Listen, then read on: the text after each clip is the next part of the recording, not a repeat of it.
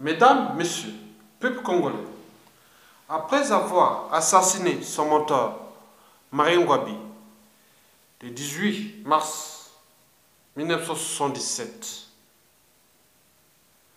Mesdames, Messieurs, peuple souverain congolais, après avoir assassiné l'ex-président Massamba Deba, le premier cardinal noir africain, le cardinal Emi Biaenda, et tous ceux qui s'en est suivi, jusqu'à son coup d'état politique du 5 février 1979, après avoir mis hors d'état de nuire à sa tyrannie la démocratie congolaise dès le 5 juin 1997 jusqu'à nos jours. Monsieur Denis Sassou Nguesso vient d'annoncer son énième coup d'État constitutionnel contre la volonté générale. Oui, nous sommes le 22 décembre 2015, quelque part dans le monde. Sans surprise, sans aucune surprise, le tyran congolais imperturbable, avec l'appui des réseaux mafieux français, a annoncé ce mardi 22 décembre 2015 devant sa caisse d'enregistrement parlementaire la tenue de l'élection présidentielle anticipée au premier semestre 2016, probablement dans le courant du mois de mars 2016. Bien sûr, le mois de mars. Oui, le mois de toute la boucherie des ex-présidents et de tous les curés et des intellectuels et politico-intellectuels congolais. Le mois de mars, des explosions, des explosions du 4 mars 2012. Oui, toujours le mois de mars. Ah, dit-on, c'est pas grave. Oui, le pays est en danger. Ce 22 décembre 2015, je vous annonce que le Congo n'existait plus. On peut ne pas comprendre les esprits sécessionnistes, sudistes congolais. Oui, le pays est en danger. Et nous y, nous y enfonçons tout droit là, dans cette sécession. Le Congo n'existait plus. Le Congo n'existait plus. Voilà. Mais à cause de qui? Et pour qui? Et pourquoi Et contre qui? Voilà. Donc, un peuple est en danger. Voilà. C'est ce que je voulais vous dire. Mais quoique, nous avons encore des esprits libres de nos pères fondateurs qui peuvent dire encore sauvons la République contre le régime affairiste, tribaliste, politique, oyocratie et de quelques esprits égarés nordistes et sudistes aussi. Parce que Sassou Nguesso annonce, vient d'annoncer la suite de son pouvoir à vie parce qu'il sait bien que le Sud Congo, avec tous ses pions, vont les soutenir dans ce suicide collectif. Mais non, ça, ça ne se passera pas comme ça. Nous devons donc sauver notre peuple et notre race à l'échelle congolaise. Voilà. D'où l'objet de, de ce message que nous devons rester tous unis. Donc le problème de cette élection annoncée, qui on le sait bien déjà, le 25 octobre 2015, il n'y a eu que 10 000 Congolais qui se sont allés aux urnes contre 4,5 millions de Congolais. C'était jamais vu. Donc, c'est un pouvoir, illégal et illégitime, mais il sait bien que le danger contre sa tyrannie est bien réel. Et c'est pourquoi il se bat pour se protéger avec tous les moyens de l'État dont il dispose. La force publique, les armées fantoches, le renseignement intérieur et extérieur, les données publiques de l'État, les comptes publics et tous ces réseaux obscurs et scientifiques. Certains frottent déjà les mains à Paris, dans la part de Paris, mais dans les situations graves, on ne sait pas qui contrôle qui, qui fait quoi, comment arrivent les situations. Nous sommes dans un monde interdépendant. Donc, nous devons nous battre pour que ce monstre soit éjecté. Et maintenant, si nous sommes Congolais, parce que Sassou Nguesso n'est pas en France, il est au Congo. Nous sommes des Congolais. Nous avons nos frères, sœurs, amis, noirs, congolais, africains. Nous mettons tous les moyens pour que l'Afrique noire, la race noire ne soit pas sujet et définitivement à l'échelle congolaise. Parce que le danger est bien réel. Et nous devons nous battre ensemble pour que ce mot soit éjecté. Bien sûr, la France a bien compris. Hollande l'a bien compris. Donc, les choses peuvent se passer. Mais les services travaillent.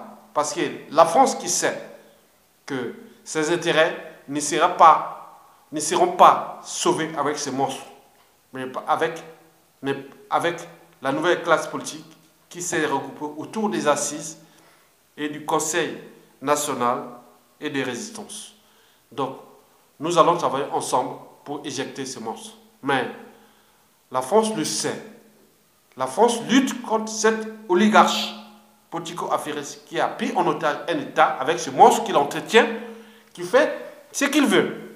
Mais les dégâts peuvent être soit endogènes et exogènes.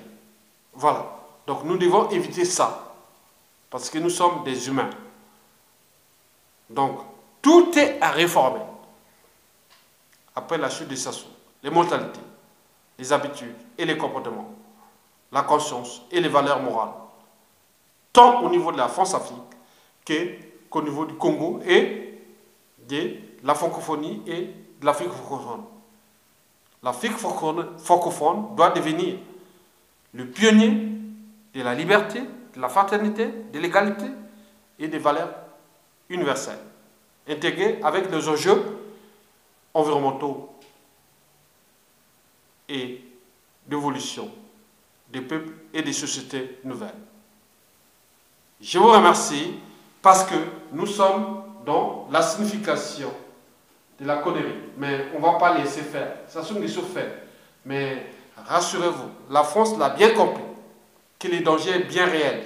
Il sait bien que 99% de la population ne veut plus de lui. Mais la France, la vraie France, la force éternelle, elle sait, elle voit tout, c'est tout. Voilà. Donc ce que Sassou Nguesso fait actuellement, il est, non contre, il est non seulement contre les intérêts supérieurs de la France, du monde qui arrive, qui est parti de la civilisation 1.0 à la civilisation 2.0, et nous avançons vers la civilisation 3.0. Donc, il sait, elle sait, la France nouvelle. Sassou Nguesso sera éjecté. Il peut continuer à faire sa petite cour de, dedans, mais tout le monde le sait. On les laisse faire. Mais rassurez-vous, peuple congolais, battez-vous sur différents échelles, individuelles, locales, urbaines, régionales, nationales, continentales, intercontinentales et surtout en France, en Occident. Parce que l'Occident avec nous, parce que la majorité qui se bat contre ces monstres qui ont pris en otage un État, pour s'accaparer, quoique, il peut construire des empires ici, hein, depuis médiatiques, économiques, autres, non. Non, ça n'arrange pas, pas la situation de la France. Et tous les esprits libres français le savent. Et donc, euh, la France se bat contre ces monstres qui sont là pour signifier aux yeux du monde que qu'on peut suyer la France et prendre la France comme compagnie d'assurance et détruire des peuples, des vies, des familles. Et voilà. C'est pourquoi Sassou Nguesso croit que, que sa vie ou son pouvoir est hyper puissant. Voilà. Et les gens tombent là-bas et disent non, Sassou est puissant. Vous voyez Obama, François Hollande, tout le monde tombe contre Sassou Nguesso. Mais Sassou Nguesso, c'est zéro. Il est zéro. Il est nul. Voilà. Il s'est fait parce qu'il a donné tous les biens du Congo à ses forces qui se battent pour entretenir ce monstre qui détruit. Mais en cas d'écartat, des types chaos.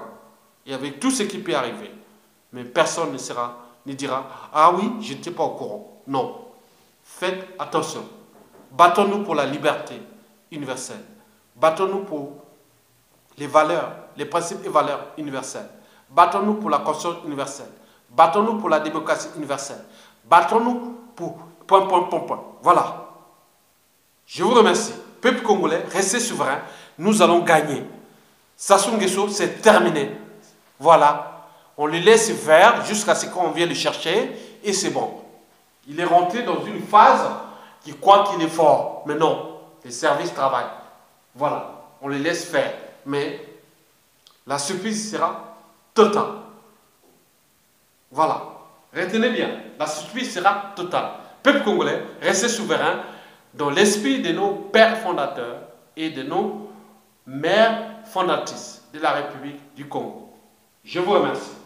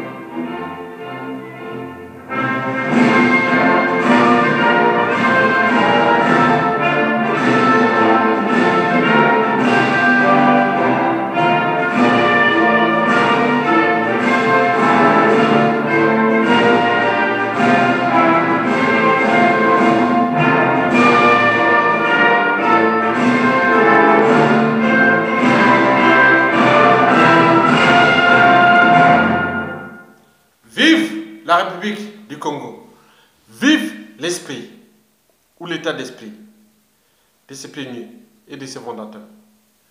Vive la République du Congo. Nous allons gagner contre la tyrannie. Nous n'allons pas détruire le Congo à cause d'un tyran. Non. Nous aurons d'autres preuves à venir. Dès 2016, 2017, 2018, 2020, 2030, 2050, 2100, 2150. Voilà. Donc, nous sommes dans la signification de cet état d'esprit de la liberté et des pionniers successifs de la République du Congo. Oui, nous sommes le peuple congolais. Merci beaucoup.